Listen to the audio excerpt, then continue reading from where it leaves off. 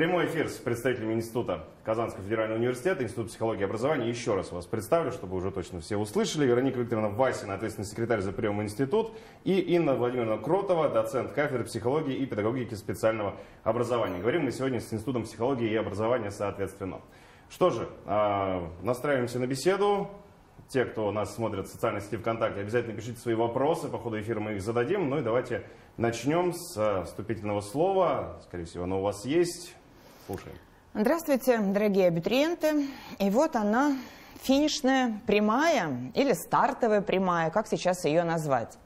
А, если вам сейчас видно, я так понимаю, видно эту презентацию, особенности приема 2022 года в том, что у нас идет одна волна зачисления, и зачисление будет с оригиналами документов. И начнем мы все с 20 июня 2022 года. Так что осталось меньше месяца, все ЕГЭ, с которыми вы хотели определиться, вы уже определились. Экзамены вот-вот уже сдаются. Все результаты ваших экзаменов мы увидим сразу внутри системы, то есть э, даже предъявлять их будет не нужно. А вот подлинники документов нужно уже готовить и готовить для них ксерокопии. Но на всякий случай готовим еще и сканы этих документов тоже, потому что э, полностью до ковидному режиму, видимо, мы еще сразу не вернемся, то есть такой будет немножечко гибрид. Но при этом подача документов как в очном, так и в онлайн-формате на Кремлевской 35. Это второй высотный корпус напротив главного здания университета. Здесь вот в фойе все это и начнется. При этом несколько разных вариантов. А, может быть, для тех, кто поступает после 11 класса сразу 5 лет действительно их ЕГЭ. Для тех, кто поступает после колледжей, э, техникумов, потому что после профильных организаций, если вы закончили, у вас будут еще и внутренние вступительные испытания, хотя они будут точно такие же, как и ЕГЭ по тем же программам, то есть сейчас еще есть месяц для того, чтобы к ним готовиться. И программы вступительных испытаний, они тоже уже на сайтах появились. При этом немножечко про прошлый год, чтобы было с чем сравнивать, чтобы было понятно, как это будет складываться в этом году, по крайней мере, относительно цифр. Институт психологии и образования находится на Межлаука Дом 1, а это на Булаке, остановка Пединститут, зеленое круглое здание, наверняка все вы его знаете. Но прием заявления, вот вы видите, да, из 11 тысяч с лишним заявлений, в принципе, на первом курсе учится только одна тысяча э, студентов, ну, плюс иностранцы там, ну, где-то, ну, до полутора тысяч, может быть, в этом году. То есть вы понимаете, что примерно 10-11 человек – на одно место. В этом году мы предполагаем, что будет примерно такой же конкурс, если мы сейчас говорим еще и вдобавок про бюджетные места. В Институт психологии и образования занимает третье место по количеству зачисленных на первый курс, то есть это один из самых больших факультетов. Обратите внимание на то, что у нас только юридически остался с названием факультет, по-моему. Все остальные факультеты называются институтами, поэтому не пугайтесь. Очень много поступает сейчас звонков, как в приемную комиссию ко мне. И все спрашивают, вот у вас институт психологии образования, как мне поступить на факультет психологии, где ваш там педагогический факультет.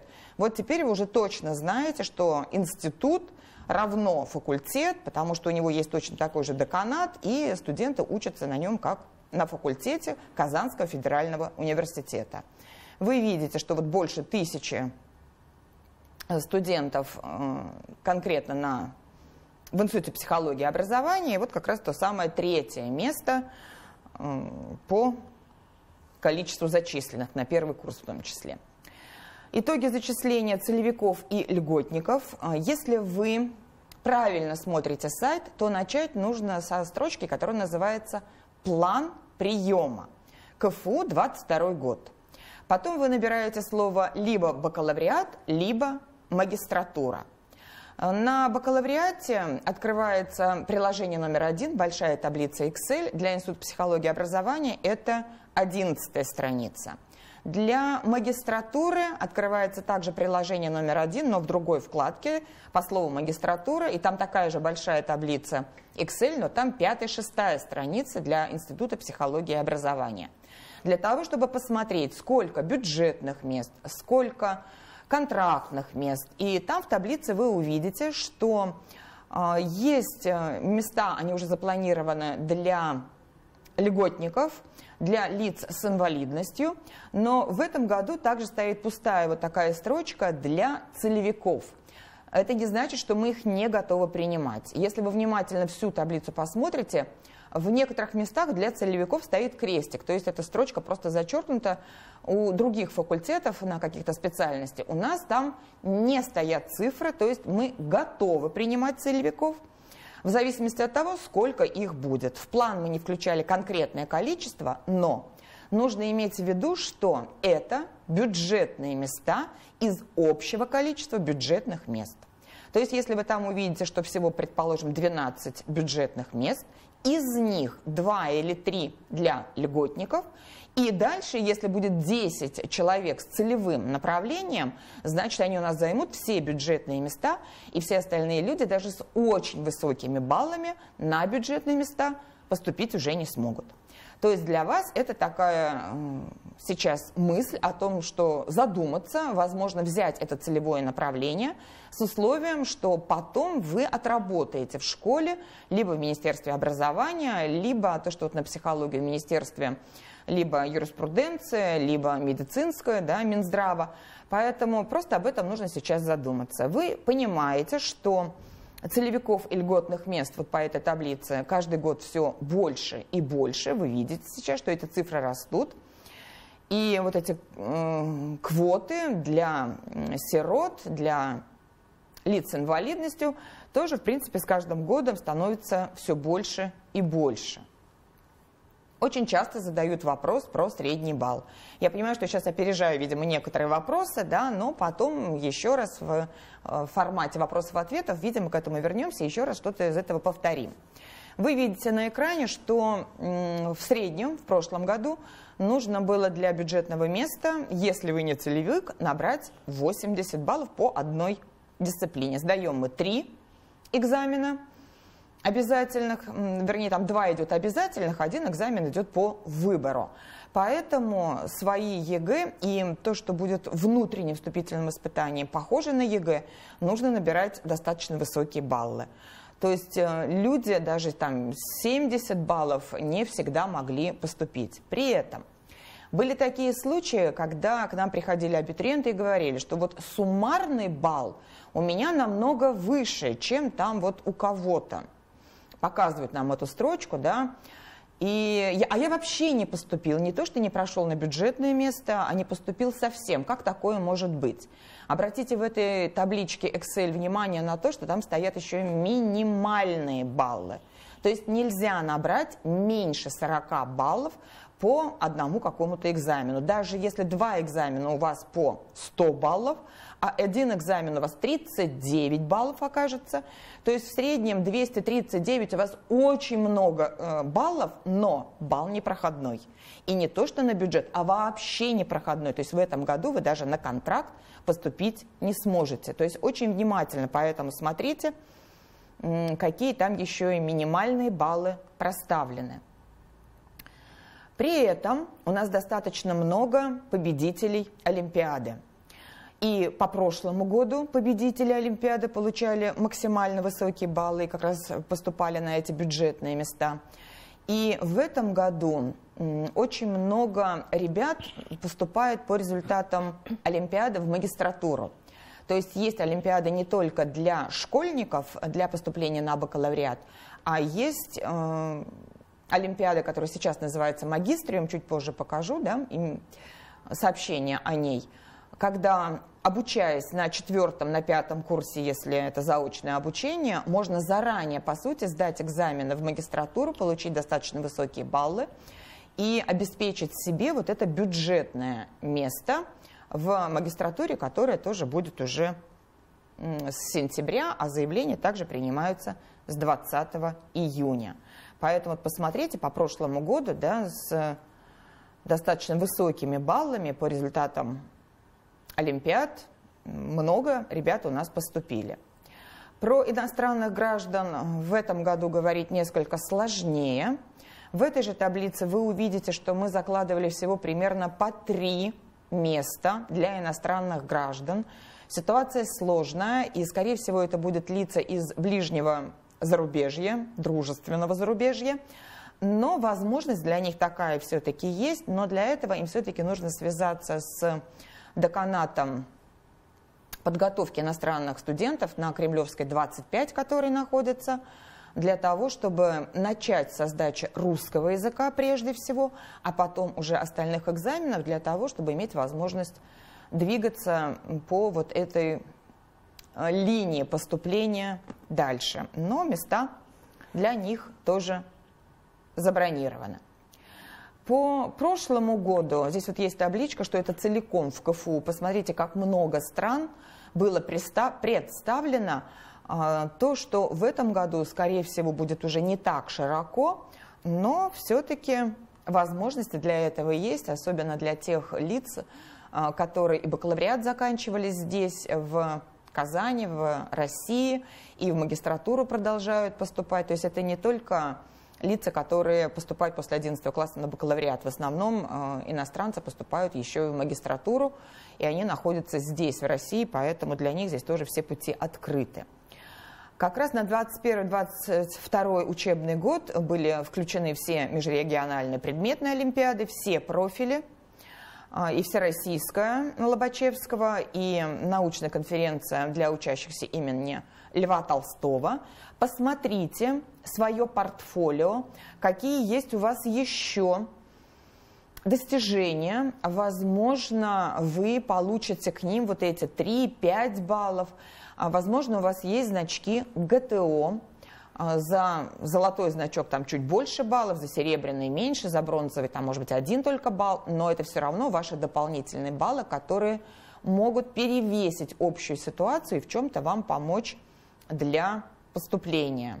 То есть это тоже важно, поэтому есть еще этот месяц для того, чтобы портфолио хорошо собрать и отсканировать, и сделать с него ксерокопию, чтобы не раздавать э, подлинники документов, да, чтобы они не потерялись здесь в приемной комиссии, но, по крайней мере, чтобы подтверждение ваших успехов, ваших результатов у вас было.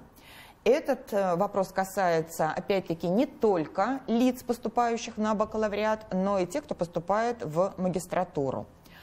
А, здесь тоже приветствуется портфолио, потому что достаточно много то, что называется мотивационное эссе, либо мотивационное свой вот такое выступление, рассказ о себе.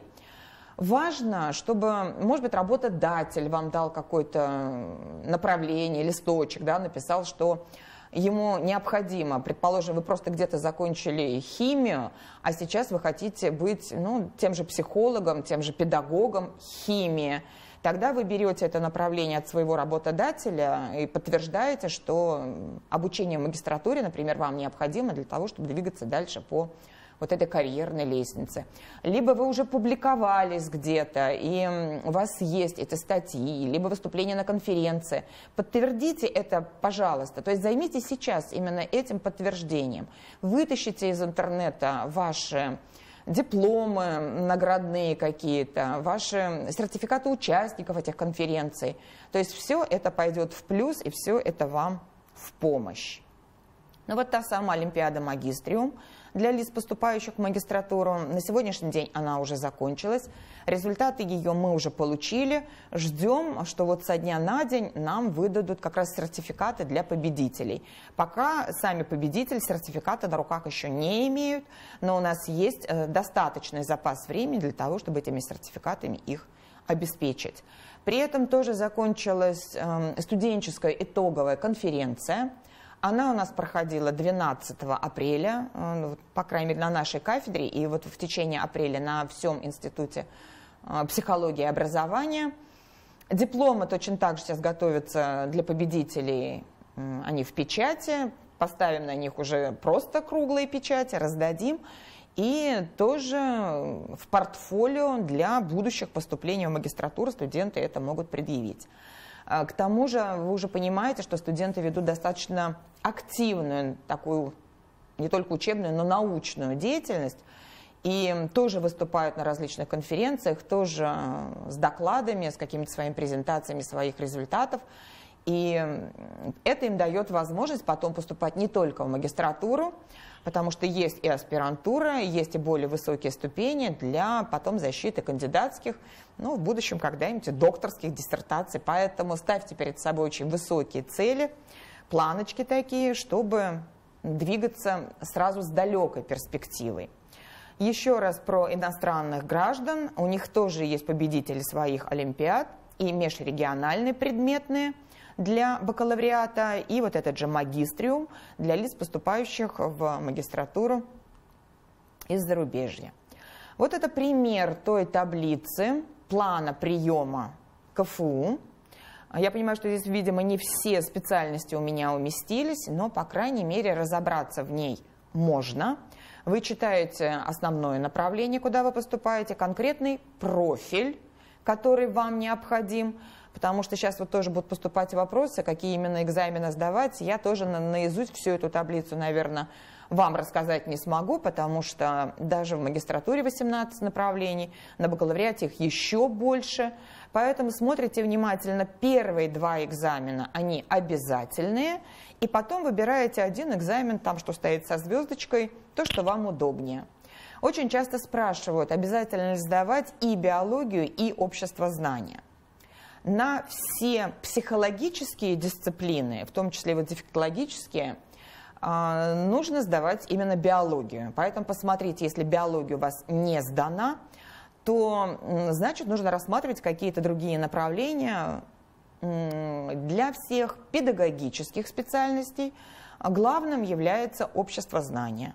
Потом к нему уже можно добавлять либо русский, либо математику. Биология может пойти как второй экзамен, если он тоже у вас оказался сдан. Если не сдан, ничего страшного. Но Многие одиннадцатиклассники спрашивают, вот в школе я сдал не то ЕГЭ, можно я сдам его сейчас вот на Кремлевской 35 в качестве вступительного испытания? Вот для вас как раз однозначный ответ – нет. У нас поступление идет только по тем баллам ЕГЭ, которые вы сумели набрать, обучаясь в школе. Вот когда 5 лет пройдет, либо следующим годом – когда вы точно сейчас посмотрели эту таблицу, поняли, что какое-то ЕГЭ вам не хватает, за год вы прикрепитесь еще раз к какой-то школе, может быть, опять к своей же, может быть, вы сдадите этот экзамен, и тогда на следующий год будете поступать, но только опять с результатами ЕГЭ. Внутренние вступительные испытания только для тех, кто закончил школу очень давно, либо ушел после девятого класса, заканчивал техникум, колледж и какие-то другие ну, специальности. В том числе очень часто сейчас у меня разрывается телефон по поводу второго высшего образования. Сразу хочу сказать о том, что вот эти магистратуры, есть бюджетные места, это то, что есть в Институте психологии и образования. Если у вас есть высшее образование, и вы планируете получить второе высшее, то это, видимо, не к нам – это нужно набирать э, на сайте Институт повышения квалификации и переподготовки КФУ. Вот там вы найдете за год, за полтора года какое-то свое второе высшее образование. Мы же можем вам дать только магистратуру, то, что называется выше высшего. И неважно, по большому счету, с какой специальностью вы к нам идете идут экономисты, идут инженеры, идут строитель. Да, может быть, они не поступят на бюджетные места, но вот баллов им не хватит, чтобы конкурировать с теми профессионалами, которые уже закончили бакалавриат, например, у нас же по близкой специальности. Но при этом поступить в магистратуру они все равно имеют возможность на то направление, которое им нравится больше всего.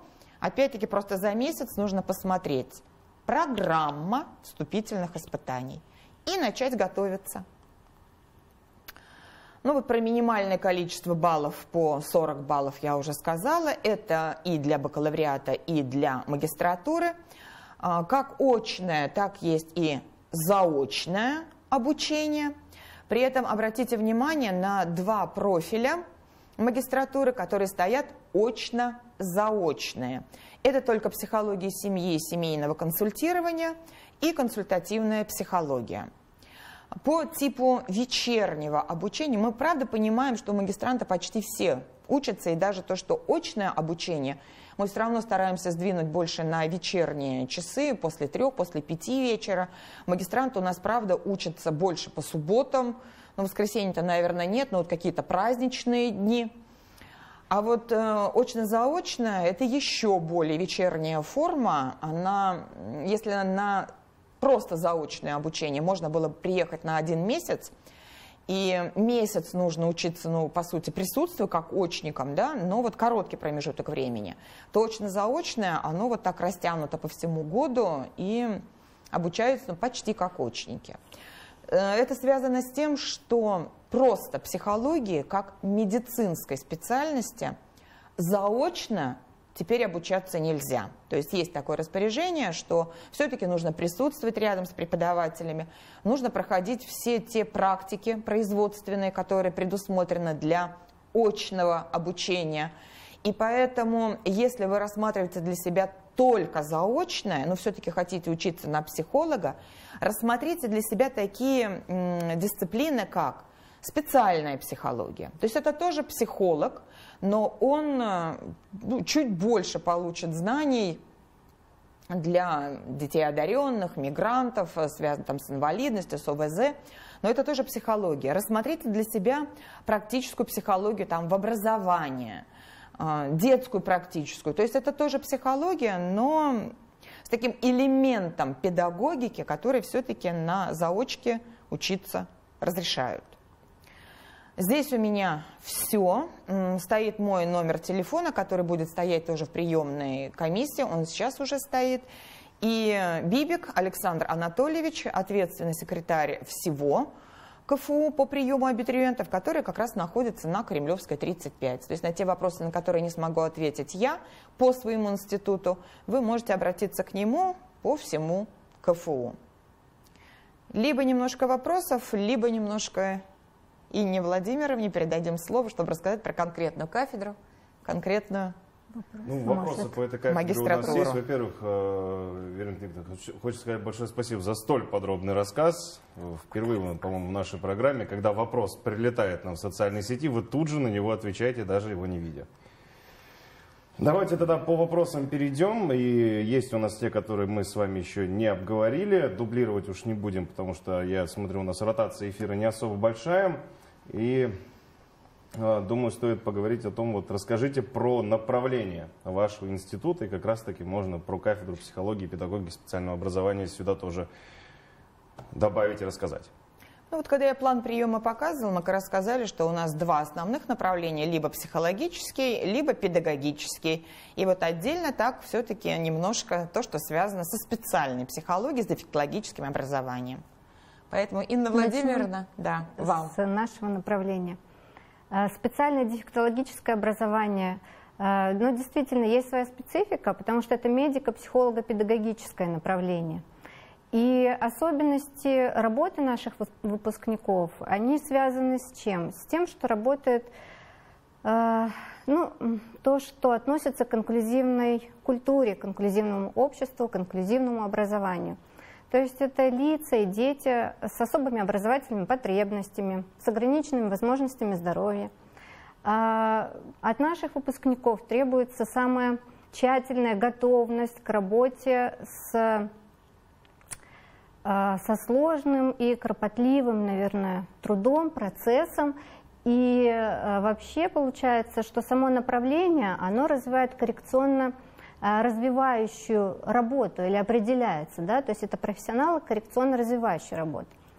И э, у нас есть бакалавриат, это логопеды, логопедия, э, те, кто как раз работает с нарушениями речи, бакалавриат и специальная психология, Вероника Викторовна уже проговорила, и магистратура, где тоже два, две интересные программы. Это нейропсихологическое сопровождение в образовании – и адаптивное управление коррекционным процессом в образовании.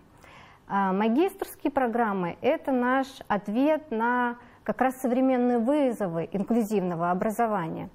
а меняются отношения, меняются взаимоотношения внутри э, образовательных учреждений. Самое главное – роль э, семьи, роль родителей и роль общества в инклюзивном процессе, как я уже сказала, в коррекционно-развивающем процессе. Она тоже обозначается более четко, и именно специалисты, которые будут обучаться у нас на магистрских программах, они будут владеть всеми профессиональными компетенциями вот в этой области. Специальное дефектологическое образование.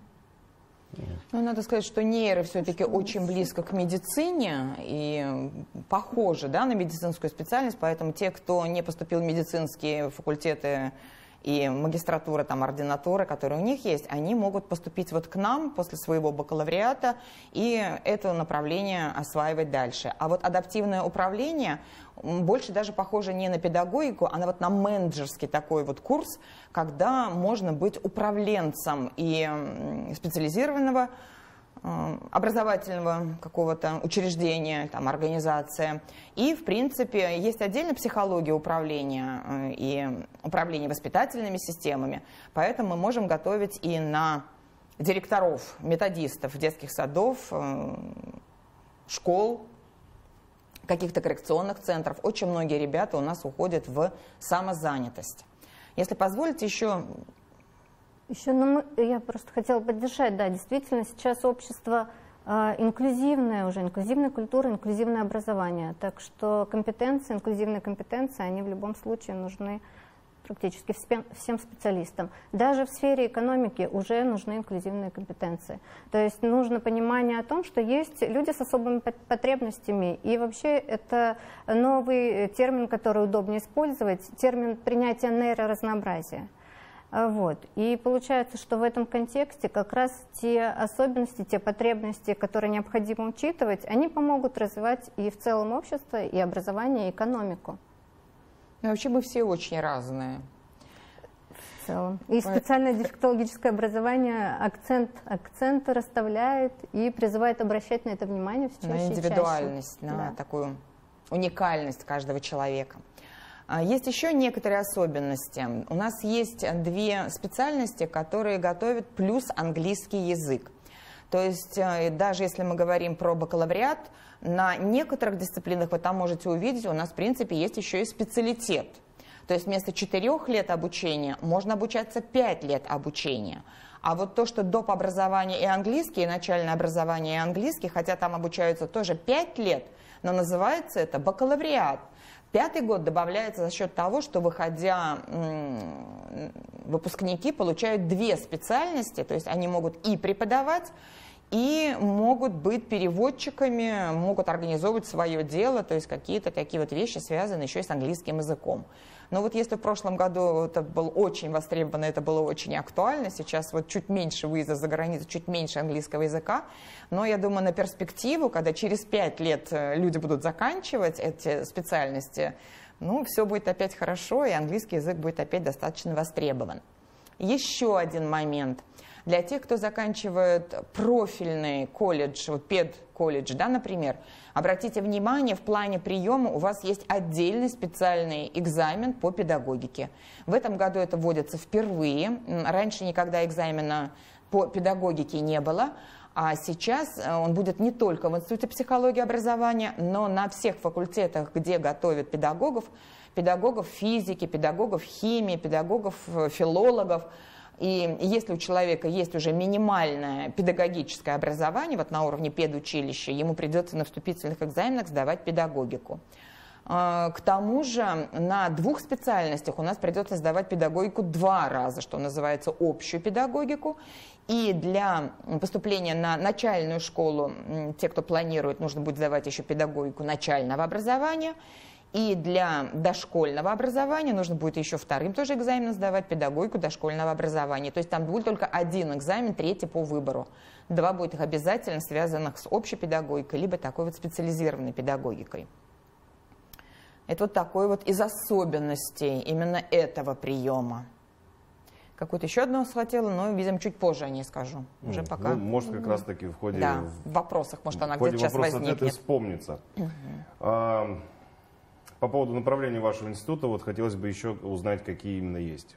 куда можно поступать, ну, и специалитет, вот конкретно как они называются и... Нет, ну это все в план приема. Я угу. поэтому как раз проговорила, что не все я вам наизусть расскажу, потому что а, план приема достаточно большой. И вот здесь вот нужно каждое направление вот отдельно еще раз прочитать. Угу. Хорошо, То тогда вот... Нужно, э, чтобы все-таки они к таблице сами обратились и выбрали.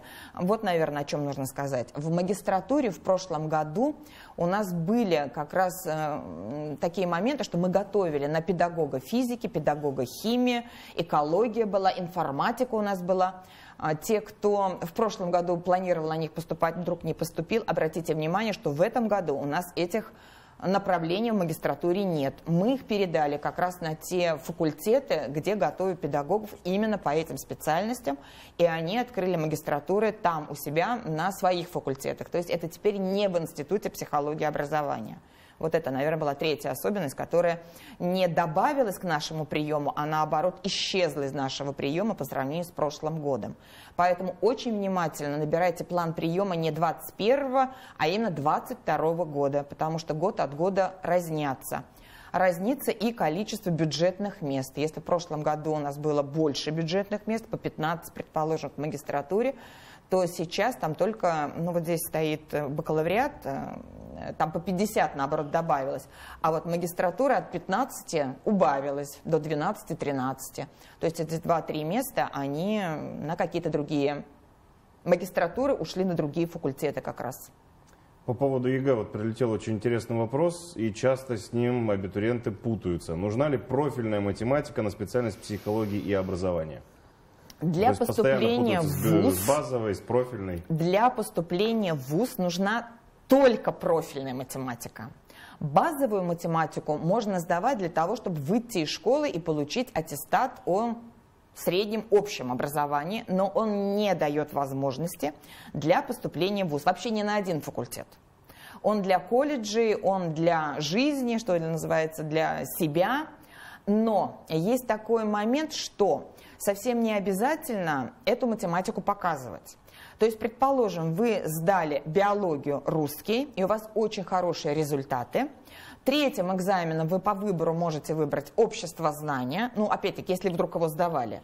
Математику сдали для себя э, просто базу, потому что она у вас не очень хорошо преподавалась, либо вы ее не очень хорошо. И математику можно вообще не показывать. То есть из школы вы с этой базой ушли, к нам вообще без математики поступили. То есть такие варианты тоже есть. Mm. Хорошо, вопрос следующий. Кому подходит магистратура? Тем, кто ее для себя выбрал. А, вообще, наверное, надо сказать, что вот это деление на бакалавриат и на магистратуру, это просто следующая ступень. То, что раньше специалитета было достаточно для того, чтобы работать на каком-то своем выбранном рабочем месте, да, педагогическом месте, то сейчас для того, чтобы быть управленцем, быть начальником, для того, чтобы вот выше двигаться и вообще нужна уже магистратура. Это один э, блок. Другой – это как раз для тех, кто кончил бакалавриат по каким-то совершенно другим специальностям, не имеющим отношения к педагогике, психологии, но именно эти знания от них требует работодатель сейчас на рабочем месте. Тогда он заканчивает магистратуру, предъявляет работодателю, что у него есть вот это выше высшего, то, что называется, да, по педагогике либо психологическому какому-то направлению, и продолжает уже трудиться в этом педагогическо-психологическом блоке. По поводу педагогического направления, такой философский, можно сказать, вопрос. Насколько сейчас актуально педагогическое направление, для чего Видишь? оно, сколько туда людей идет, для чего они идут? А вот, может, по количеству, и я поддержу.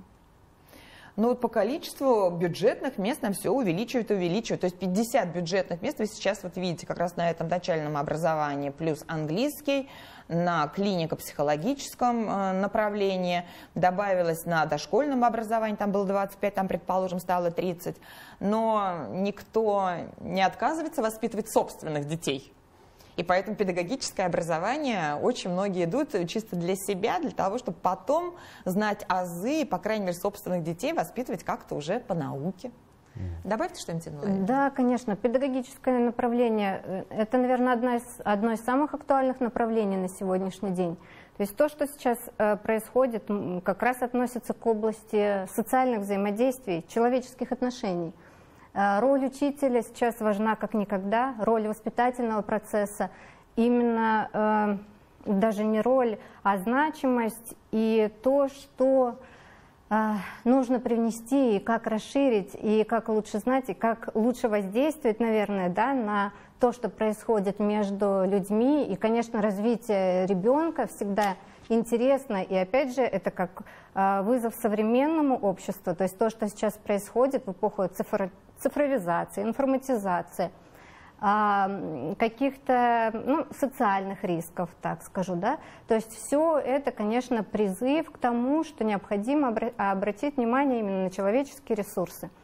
И самое интересное, что в педагогическом направлении очень хорошо развиваются востребованные на сегодняшний день soft skills, мягкие навыки, общение, взаимодействие, опять же, как я уже сказала, умение работать э, в коллективе, да, знать, каким образом, э, каким образом, опять же, повторюсь, конечно, да, взаимодействие получается, да, осуществлять, но и то, какие тонкости, нюансы есть во взаимодействии. То есть но вообще педагогика, если считать, что у нас ребенок до 18 лет, кажется. то дальше это и андрогогика, то, что называется, то есть это обучение взрослых, это и все управленцы, они же тоже владеют навыками педагогическими для того, чтобы управлять своей большой командой. Это прежде всего вот опять педагогические навыки. Интересуется по поводу дополнительных баллов. Вот тогда сказали то, что за Олимпиады, за ГТО. Интересуется по поводу баллов за волонтерство. Учитывается это или не учитывается. А учитывается ли за а, призовые места на региональных, на всероссийских этапах э, World Skills. Вот это вот все учитывается в приеме и вообще в целом о портфолио. Что туда еще можно добавить для успешного приема? Ну, для магистратуры точно учитывается, потому что баллы начисляются уже тем бакалавриат, бакалаврам, которые во время своей учебы себя очень хорошо показали. Для школьников, ну, наверное, все-таки надо посмотреть, там международные, всероссийские, по-моему, там региональных нет – то есть они потом уже для, когда вот будешь учиться, для помощи, когда вот там воспитательной работе участвуешь, еще ты показываешь, да, их. Но дополнительный балл здесь вот трудно сказать. Э, баллы есть за золотую медаль, за красные дипломы, то есть вот за то, что очень хорошо учился, да. С волонтерством тоже, с бакалавриатом не знаю, чтобы добавлялось. А нашим выпускникам четвертого курса мы почти всем говорим о том, что если они работают волонтерами, в том числе в приемной комиссии, это им дает дополнительный балл, но опять-таки для поступления в магистратуру. То есть это опять когда свои уже люди, когда мы их знаем, они для магистратуры больше баллов получают и легче поступают на бюджет. С бакалавриатом там сложнее, там слишком много из разных регионов, из разных городов, там больше незнакомых и непонятно, вот немножко иногда бывает, что это за грамота, за волонтерство. Но положить ее в портфолио, предъявить, показать, сделать вполне, а вдруг? При равных каких-то баллах с другим человеком, у другого этого не будет, у вас это окажется, и это может перевесить ситуацию. Когда там одно единственное последнее место, и когда гадаешь, кто же должен на него поступить, вполне возможно. Ну, проще говоря, лишним не, не будет. будет. Угу. А, еще есть парочку вопросов. А, сейчас, секундочку, их найду. Вот у нас тут при, прилетел. Если я хочу стать психологом без педагогической подготовки, то какие программы бакалавриата мне больше подходят? Вот такой вопрос прилетел. Ну вот опять получается, что как будто они про следующее образование спрашивают. То есть какое-то образование, значит, бакалавриата у него уже есть, раз он с педагогическим хочет на психолога. Вот здесь опять вопрос, да, в магистратуру. Нет, без педагогической подготовки. без. Давайте еще раз. Но на психолога без педагогической, значит, какая-то подготовка? Нет, То есть если я хочу стать психологом да. без педагогической подготовки, ну и не надо ему педагогическую подготовку. То какие программы бакалавриата мне больше подходят? Все, что связано с психологией, прям открывайте, читайте, смотрите на любую программу, то есть очно вы можете поступать. Мы сказали о том, что вот это самое первое, психология, ведь написано ОДО, это как раз вот дневное отделение, да, а у него нет заочки. То есть, если вы после 11 класса, вам нужно дневное отделение, поэтому выбирайте, поступайте. Следующий вопрос людям предпенсионного и пенсионерам есть возможность поступить в магистратуру и на какую форму обучения? На базе тех высшего образования. Я так понимаю, технического высшего Неважно. Мы сейчас сказали, какое у вас первое образование. Неважно, какой у вас возраст. Вы на общих основаниях 20 июня подаете также документы, которые у вас есть о том образовании, которое у вас первоначально было. И также смотрите программу вступительных испытаний. Сейчас месяц к ней готовитесь. Собираете также материалы материалы, ну, подтверждающие, зачем вам после технического образования вдруг понадобилась психология. То есть не получится на бюджет, то есть мы с распростертыми объятиями на контрактные места берем, ну, скажем так, всех. То есть контрактные места открываются достаточно много, возможно, будет даже вторая группа, если будет много желающих. Поэтому здесь ограничений нет никаких. По поводу контракта и бюджета как раз-таки подвели еще к одному вопросу. Есть ли в вашем институте возможность перейти с коммерции на бюджетное обучение? Я думаю, что почти такой возможности нет, потому что кто такие бюджетники? Это те, кто очень хорошо учились в школе, ответственные, э, те, которые получили максимальное количество баллов, они очень сильно держатся за свои бюджетные места, и они не уходят практически из своих групп, а количество бюджетных мест, ну, вместе с ними, да, переходит на втором, на третьем курсе, оно не увеличивается. И поэтому человеку с контракта, либо из другого вуза, вот многие говорят, да, я хочу к вам на бюджет, на второй, на третий, на четвертый курс на бюджет поступить ну, практически невозможно. Особенно если, ну даже если там в декретный кто-то уйдет, да, из девушек. Но в этой же группе учатся девчонки, которые также с большим количеством баллов поступали, но не поступили, предположим, на бюджет. И они, ну, стоят на очереди, и они раньше поступят, ну, переведутся на этот бюджет, чем человека с какого-то другого вуза, с какой-то другой специальности. Поэтому с контракта на контракт, пожалуйста, добро пожаловать. На бюджет лучше на первый курс, лучше с высокими баллами, лучше через поступление, чем через перевод. Как лучше подавать документы? Через госуслуги или на сайте КФУ? В прошлом году было очень много проблем с подачей документов через госуслуги. Совместить две эти системы было очень сложно, и все, что было на портале КФУ, мы видели сразу – то, что шло с госуслуг, видимо, выгружалось на 2-3 дня где-то с запозданием поздно. И вы понимаете, что если там в 18.00, предположим, система закрывается, и вы должны видеть уже, да, сколько у вас баллов, какой... С госуслуг вы это увидите через 2-3 дня. Ну вот нам удобнее, конечно, через систему КФУ. Но это нам удобнее, да? А, но там уж у вас как получится. При этом я еще раз хочу подчеркнуть, что все-таки в этом году будет предпочтение для лиц, которые привезли подлинники документов. То есть это не ксерокопии и не скан, а вот уже прям бумажный документ вы его получили в школе либо в техникуме, и нам его в бумажном виде уже передали. Мы его сразу уже ближе к приказу о зачислении, что называется, кладем, да, потому что может получиться так, что опять-таки система закрывается, ну, как в прошлом году, например, было. В последние какие-то доли секунды вы перекидываете с факультета на факультет какие-то свои электронные документы, то есть свое подтверждение, а бумажного документа вашего нет. Может оказаться в этом году так, что зачислят кого-то другого, у кого бумажный документ уже сдан. Потому что это человек, который он точно определился, он не мечется между разными факультетами, мы его больше ценим. Он принес документ, он уже наш человек, мы ему доверяем. Что же, начнем тогда потихонечку подводить итоги нашего эфира. Последний вопрос, даже несколько присылали тоже нам в социальной сети ВКонтакте, у нас они заготовлены были, предлагаю объединить. А, это когда стартует приемная кампания, какие ЕГЭ нужно сдавать для, поступи... для поступления в ваш институт, какой средний балл нужно набрать для прохождения на бюджет и где можно ознакомиться с информацией о поступлении, если возникнут вопросы. Ну, почти на все эти вопросы обобщим еще расскажем, да, что угу. минимально нужно набрать 40 баллов по каждой дисциплине. Для бюджета, вот прям стабильно, чтобы вы понимали, что вы проходите, нужно набрать 80 баллов для одного какого-то экзамена. Два обязательных экзамена, третий по выбору. Для всех психологических дисциплин обязательно биология, для всех педагогических дисциплин обязательно общество знания. Э, что там еще было? 20 июня стартуем э, и в электронном, и в очном режиме на Кремлевской 35 в фойе. Ждем вас Видимо, все, что мы могли, вот так мы рассказали. Вся информация на сайтах, смотрите внимательно, да, и план приема, и программа вступительных испытаний, и не свою фамилию, а номер своего СНИЛСа. Вы увидите, потому что все результаты ЕГЭ и все ваши результаты внутренних вступительных испытаний, они шифруются по номеру вашего СНИЛСа. На сайте тоже это можно будет увидеть. То есть эта информация есть.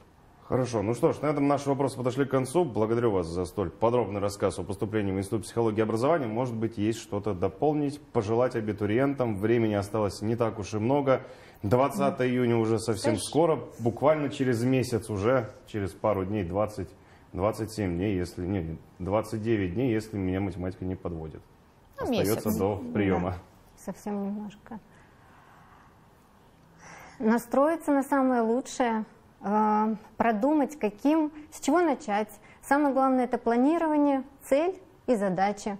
Подготовить все уже наши подсказки вы услышали, портфолио, то есть то, как лучше, каким образом, в какие сроки, с помощью чего лучше себя представить, показать свои достижения и действительно продемонстрировать свое искреннее желание а, обучаться именно ну, если бы к нам, то на институте психологии, в Институте психологии и образования. Ну да, изменить э, то ЕГЭ, которое вы заказали, уже невозможно, а вот подготовиться к нему вполне еще возможно. И хорошо его сдать, и занять свое либо бюджетное, ну, в крайнем случае, либо заочное, либо контрактное место.